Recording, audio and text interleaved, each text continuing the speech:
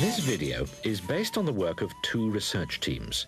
One led by Dr. Owen Standen at the Wellcome Laboratories of Tropical Medicine in the early 50s, and the other led by Dr. Diane McLaren in the late 80s at the National Institute for Medical Research. Dr. McLaren's scanning and transmission electron micrographs of the schistosome are featured in our video. This is the image seen in the microscope, which is enlarged still further when processed photographically. It should be appreciated that these electron micrographs represent a wide range of magnifications. For example, this adult male schistosome is magnified about 35 times when viewed on a 50 centimeter television screen. His ventral sucker, 500 times, and this spiny inside edge of the sucker 7,000 times. Some of our images are magnified around a quarter of a million times, like this section showing the outer surface of a larval schistosome. It was with the aid of this electron microscope that Dr. McLaren was able to unravel one of the most puzzling stages in the life cycle of the schistosome – the crucial processes involved in the transformation from free living organism to a parasitic way of life.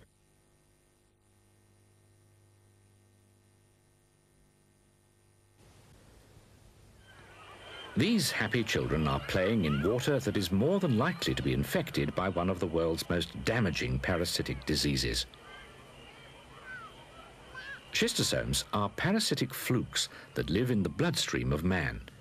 They cause the disease schistosomiasis, probably better known as bilharzia, a major health problem for hundreds of millions of people in many tropical and subtropical regions of the world. A male schistosome is seen here with a female partly held in his gynecophoric canal. The male is about a centimetre long and uses the lateral folds of his body to form the gynecophoric canal with which he embraces the longer, more slender female.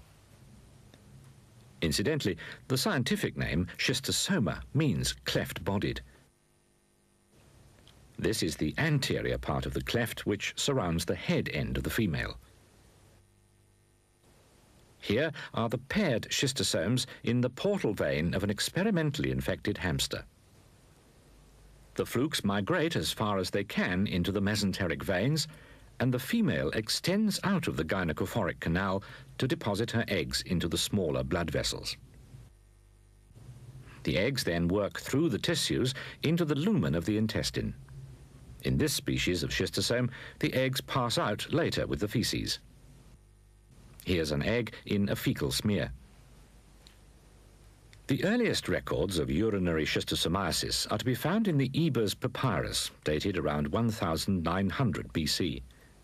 Although the ancient Egyptians did not know the cause of the disease, they recognized and clearly illustrated the urinary symptoms in their hieroglyphics.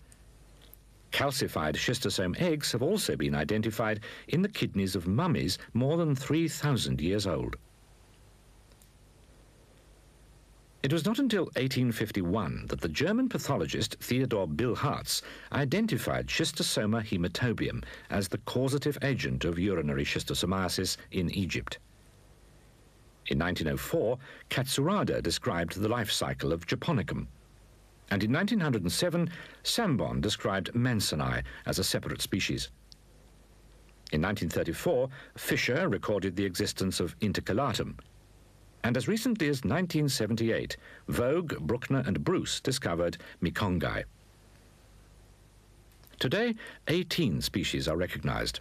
Of these, Mansoni, Japonicum, and Hematobium probably infect more people worldwide than any of the other species. Mansoni lives chiefly in the veins of the large intestine, and this part of the portal circulation is also infected by Japonicum. The passage of eggs through the intestinal tissues causes ulceration, thickening, and fibrosis of the bowel wall. Eggs can be seen in this much thickened region of the superficial layers of the intestine. Also at the bases of the villi. Those eggs which enter the lumen of the gut are discharged with the feces. Schistosoma hematobium differs from the other two species. It inhabits the blood vessels of the bladder and its eggs are discharged with the urine. The main clinical sign is hematuria, but ultimately fibrotic lesions may develop throughout the whole of the urogenital system. Bladder cancer is not an uncommon development in advanced stages of the disease. Schistosomiasis is currently endemic in 75 countries.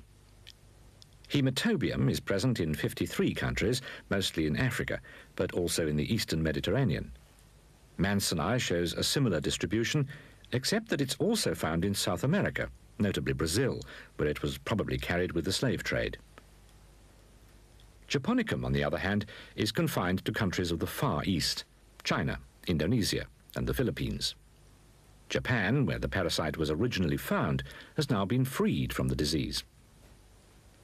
Mekongi occurs in Southeast Asia.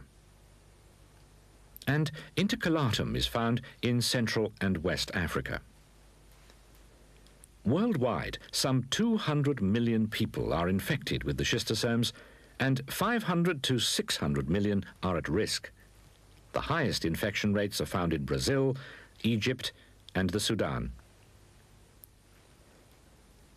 Freshwater snails play an essential role in the transmission of the disease, since each schistosome will spend part of its life cycle in the tissues of a snail. Species of Bulinus are intermediate hosts for hematobium. Biomphalaria carries Mansoni, and Oncomelania carries Japonicum. Wholesale destruction of the snail hosts with chemical molluscicides is one obvious method of reducing the incidence of schistosomiasis. But since the snails are hermaphrodite, possessing both male and female sexual organs, it needs only one individual to survive a control program of this kind for an entire area to be repopulated within a single season. Moreover, development projects such as hydroelectric schemes like the gigantic Kariba Dam on the Zambezi have created large bodies of water and consequently enabled the snails to flourish in recent years. Although most infected people carry only small numbers of schistosomes, treatment with an effective drug not only reduces the prevalence of the disease, it also reduces morbidity. Praziquantel is currently the drug of choice since a single dose affects all the main species of schistosome that infect man and it produces high cure rates. Oxamniquine is also used for Mansoni, especially in South America, while metrifonate is valuable for the treatment of hematobium. It's man's primitive habits with regard to urination and defecation which maintain the disease in the community. Obviously, the separation of urine and feces from waters inhabited by the snails is vital in the control of infection. In the third world, this is easier said than done. However, in Zimbabwe, the Blair Research Laboratories have produced some interesting designs for simple water pumps and lavatories. This one is a strong shelter built over a deep pit. It has an odour pipe, fly traps, and is easy to keep clean. And here are some variations on the basic design.